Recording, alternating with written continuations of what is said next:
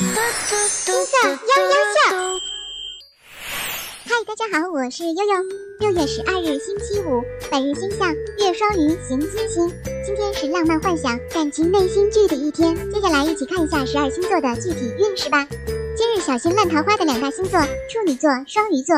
处女宝宝今天要小心烂桃花的侵扰，看清状况后理性拒绝，切记做出格的事情哦。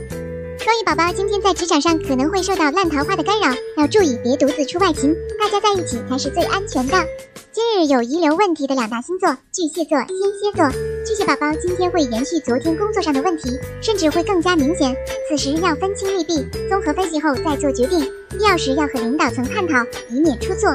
天蝎宝宝今天继续延续昨天沟通上的疑难问题，适当的发挥创造力和亲和力，可能更容易解决些，也可以寻求专家的帮助哦。